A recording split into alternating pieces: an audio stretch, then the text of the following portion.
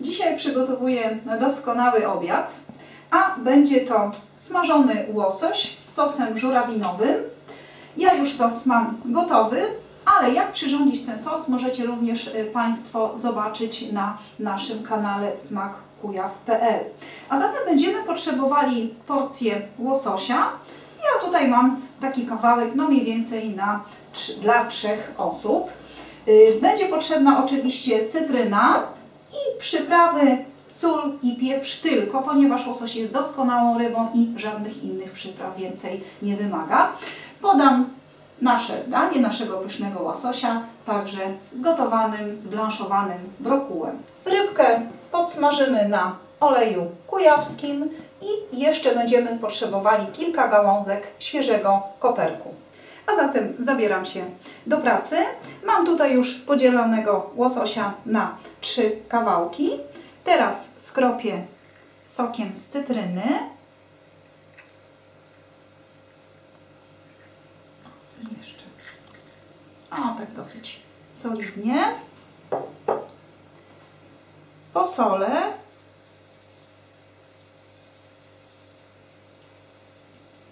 I jeszcze świeżo zmielony kolorowy pieprz.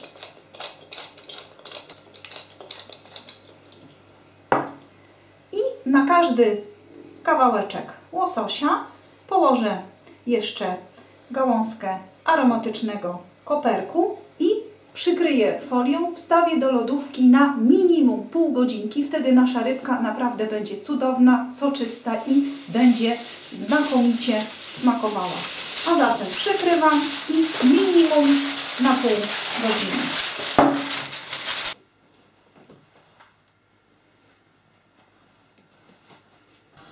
Olej mam dobrze rozgrzany, a zatem wkładam łososia.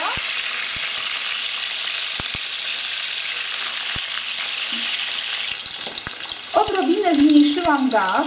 Widzicie, że rybka zaczyna już zmieniać kolor, staje się bledsza, a zatem jak uzyska kolor mniej więcej, no tutaj na, na, na tych wszystkich kawałeczkach, wtedy przełożę na drugą stronę. Zobaczcie, mięso staje się już białe, a zatem przekładam na drugą stronę. Rybę przełożyłam już na drugą stronę, ponieważ patelnia jest mocno nagrzana. Mocno rozgrzany jest tłuszcz, więc z drugiej strony dosłownie minutka dwie. Łososia mam już upieczonego. Ponownie przełożyłam go y, na tą część, gdzie jest skóra. I żeby nasz łosoś był jeszcze pyszniejszy, ja położę po odrobinie masełka. Nie wspomniałam o tym wcześniej, oczywiście nie ma takiej potrzeby, ale tak smakuje po prostu lepiej. O, i jeszcze na ostatni kawałeczek.